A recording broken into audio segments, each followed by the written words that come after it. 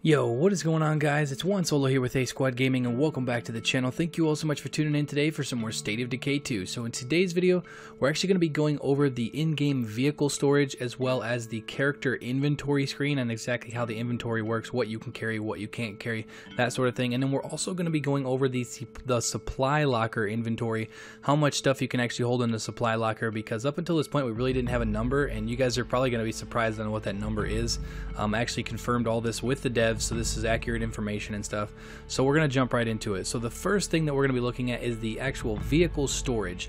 So depending on what vehicle you have, it's going to be showing you different inventory areas so that you can put different stuff in your vehicle.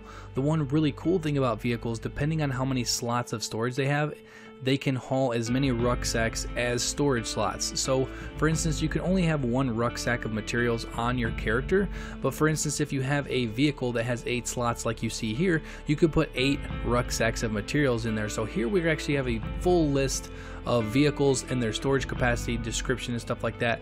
Big shout out to Dadditude as well. I will put his link down in the description again, just like I did with the base video the other day. Dude has compiled all the information from all the trailers and stuff like that and put it into a nice little spreadsheet here. So you can see that we have a bunch of different vehicles um, with three slots, four slots, five slots, six slots, and then obviously we have your cargo van and your repair vans that have eight slots. So those are going to be huge for basically going out looting materials, looting, you know, weapons, um, rucksacks especially, just because, like I said, you can only carry one rucksack of materials on your character, but you can also carry eight at least up to eight in vehicles, which is going to be huge moving forward. Because, for instance, when you go out in the open world, there's only so many things you're going to be able to loot on your character depending on how big your backpack is. And with that, the more stuff you load down your character with, the faster the stamina bar is going to go down while you're running, the faster you're going to get tired. And, the, and basically, for instance, if your stamina goes away really quickly and you get attacked by zombies, you're going to be in a lot of trouble. So here we're going to go over a few different backpack sizes. So here you can see that we have the standard backpack, which is 7.5 pounds, and it says it is a medium-sized backpack, not too heavy but with limited space, and it has six inventory slots in that backpack to carry materials and stuff in. So here we have the small backpack, which is only 4 pounds, and it says a lightweight backpack with very limited space, and this only has 5 inventory slots. So and then all this is going to kind of go back onto your weight. So depending on how much your backpack weighs and all the items that you put in your backpack is going to determine how fast your stamina and stuff goes down. And here we have the hiking pack, which is only 6 pounds, but it's a low profile lightweight pack with plenty of attach points for storing extra gear. And this has 8 inventory slots, which is probably going to be one of the better, if not the best backpack in the game to use. And then we're going to move over here to the inventory slot. So this is over on the right hand side, this is where we're looking. So you're going to be able to carry up in the top left hand corner there, you can see, or up at the top very, you can see your weight. So that's basically going to overall going to show you if you're overburdened or not. And then the top left box there, you can see a little knife. That is your close quarters combat weapon that we have on you at all times. The top right is the melee weapon because you're allowed to have at least one good melee weapon on you. The bottom left there is your primary weapon, which you can outfit with um, a suppressor or a muzzle brake. Um, and then right here over where I am on the screen right here where it says take, that is your spot for your rucksack. So then below that you can see your backpack and then the eight inventory slots that you're going to have in your backpack and stuff. And then you have a couple pockets where you can put, you know, consumables um, meds, and stuff like that. And this is going to be for every character. Depending on your backpack size, it's going to change the bottom half of the inventory screen there.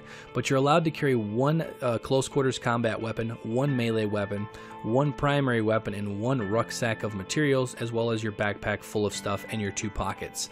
So this is going to be huge because, like I said, all depending on what you're looting and how much weight you're carrying is going to determine how fast your stamina burns off, and that is going to allow you to either get into the shit with the zombies or not.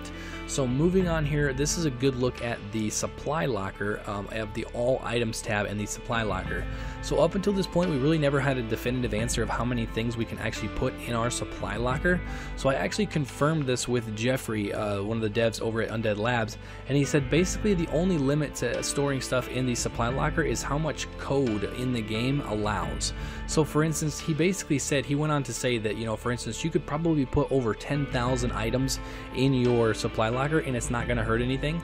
Because there really is no limit.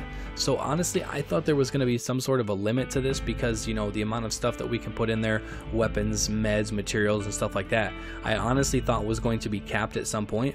But from the looks of it and from confirming with the devs, there is no limit to how many items you can actually put in your supply locker, which is going to be really cool. Honestly, I don't think you're ever going to really run into an issue with, you know, having too many items, I guess, just because, you know, you're going to be expending those items almost as fast as you are getting them most times, depending on how your playstyles are and stuff like that.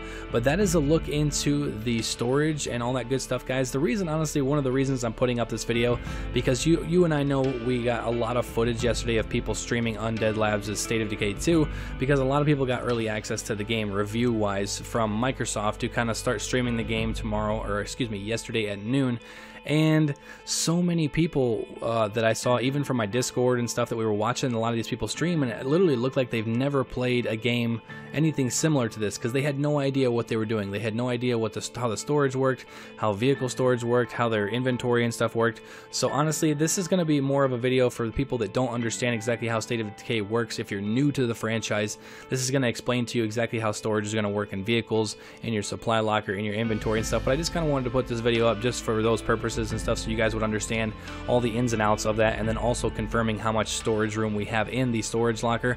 But that is pretty much all of the video guys. If you guys enjoyed it, you guys found it helpful, you guys are excited for the launch of State of Decay 2's Ultimate Edition in just over two days, make sure to slap that like button. Also, if you guys are new to the channel, make sure to subscribe to stay up to date on all things State of Decay 2. I'm going to be covering this game very in-depth leading up to and after the launch on May 22nd. But that is all for now, guys. Thank you all so much for watching, and I will catch you guys later. Peace out.